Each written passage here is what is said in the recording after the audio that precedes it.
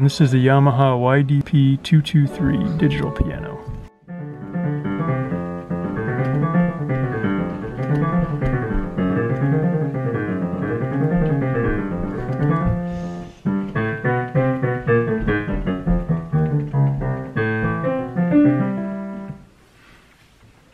This piano gets a lot of use and recently this C uh, and this A actually suddenly get super loud uh, for no known reason, and sometimes the C doesn't make any sound for some known, unknown reason. And just like taking your car to the mechanic, I can't make it. I can't make it not work right now.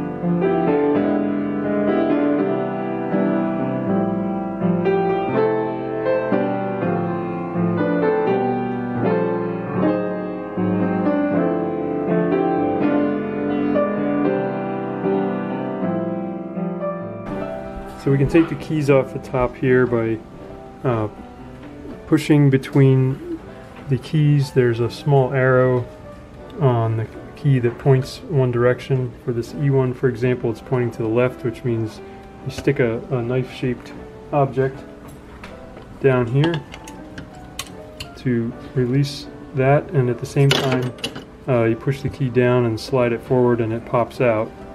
Uh, just to make sure it doesn't get hung up on these springs or these will be out of place. Uh, they have to go right back where they were. Now, the mechanism down here is uh, the one that moves the, the hammers in the back. I push on it, you can see the hammers move. And down there is a rubber piece that is contacting a circuit board. So we actually have to take the entire keyboard out and flip it upside down. Now to be able to get these keys out, uh, you actually have to undo all the screws, holding it in in the back here, and slide it forward so you have a gap. That way you can get the keys out. Um, and now I also had to disconnect this blue cable here.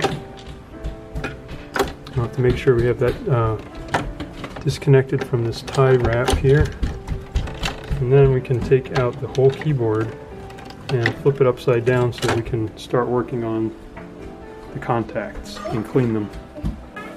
Here's a view of how that piano action works. Got a hammer in the bottom that, that adds weight and when you let go of the key it's possible for the key to uh, come back a little bit. So that's how they get that piano feel. And this little piece here pushes on the orange pad in there and that's what triggers the sense of the velocity and the fact that you've touched the key. And this, that's on the back side of the PCB here. So that is how piano actuates. And all this blue stuff is not kids' gunk, it's actually uh, oil, some kind of grease.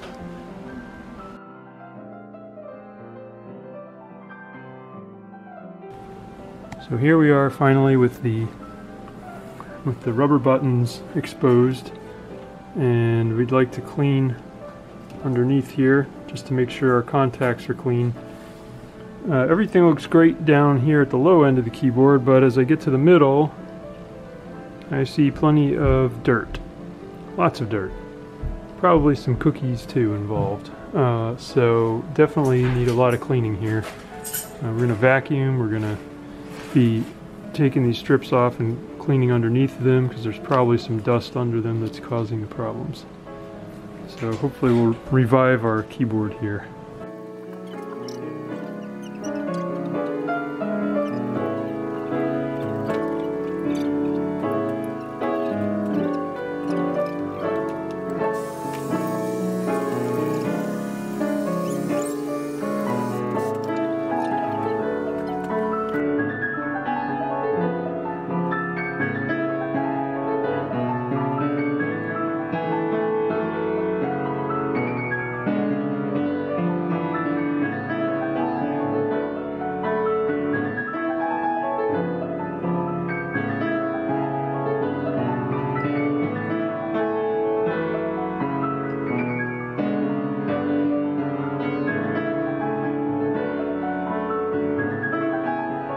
So these rubber pieces are really hard to get back into place.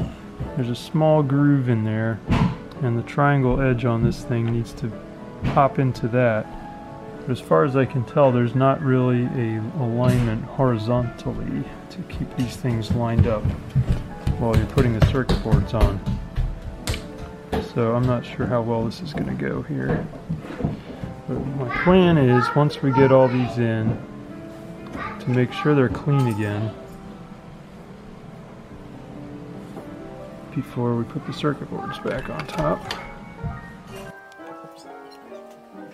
Cleaned them with contact cleaner on both sides, and so I'm hoping that will help keep them clean uh, from oxidation, but there is dirt in here. You can see a little speck right there of white dirt, so I'll clean that off. Next, to put these uh, circuit boards in, there are some very small tabs back here where you see the light poking through. Got to get the circuit board under those tabs. So we carefully push this down and then lower it like that. And I missed the tabs on that shot, so I've got to do it again. Except now the orange things, which have almost no alignment, are poking out. So I've got to push those back in now. This is extremely tedious. And the number of orange things does not line up with the length of the circuit boards. It's, a, it's really a strange design. Let me say it that way.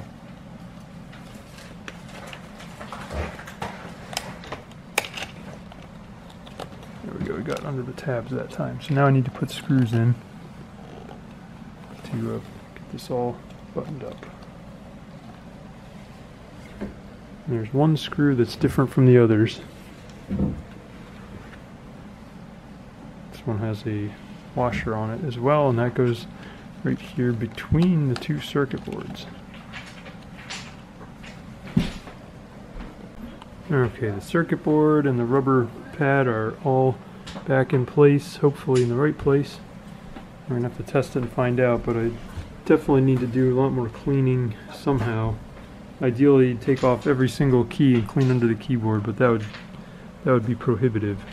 So I don't know how in the world uh, we're gonna manage to get this thing cleaned out, but we pulled a guitar pick and some other funny thing out between the keys, and uh, I don't know what else is in there.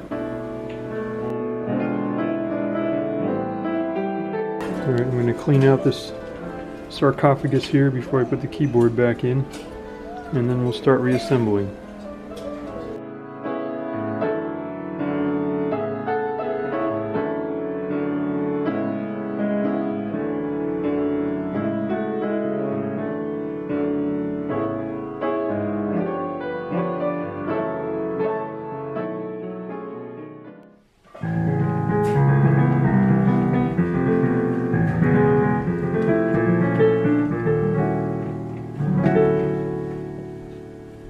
We've been using the piano for over a week now. It's worked perfectly, so cleaning really was the fix.